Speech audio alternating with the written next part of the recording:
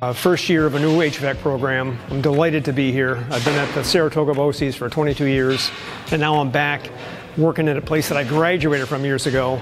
And now I'm able to work with local kids from the community, um, you know, the Granville, Whitehall, Lake George area that I've never had that opportunity before, which is going to greatly help the local businesses, um, the HVAC companies in the area, you know, the Jack Halls, Northern Mechanicals, Crisafulli Brothers, all the companies from the local area now can draw from from the Southern Adirondacks HVAC program. We have a full roster. There's a full roster AM and PM, uh, mostly first year students. Um, just some real great kids that have been eager to learn and do some things, and I'm real excited about uh, seeing them get out in the field and start fulfilling some of these jobs that we've been hurting hurting for for a long time to replace. Um, really like to thank the board, the BOCES board, for helping us out, allowing us to get this program up and running. Uh, there's a lot of teamwork that goes into everything and uh, I just like the environment and I like the classroom that we're all in. The goal is to come back here next year again to finish the two years and then hopefully have a job internship by next year. So when I'm all done, I can have a job and ready to work. Thank you to the board for uh, letting me get into your program and I appreciate it.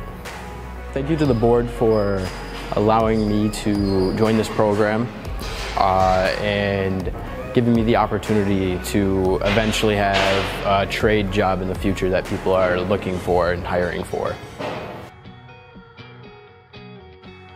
I get qualified to be a vet assistant with this program, but I'm going to um, continue with college to become a vet technician.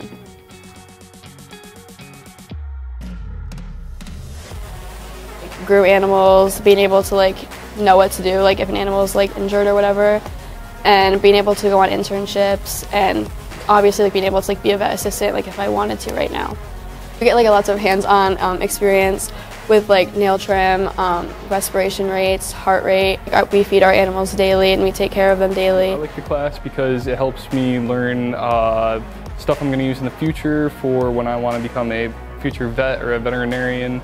Uh, the class is fun overall. We get to learn about other animals like guinea pigs, rabbits, um, all the body systems in cats and dogs. You learn a lot in the class.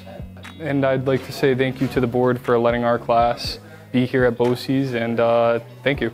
Thank you for like this opportunity that I have now to um, work with animals in BOCES that I couldn't have done before.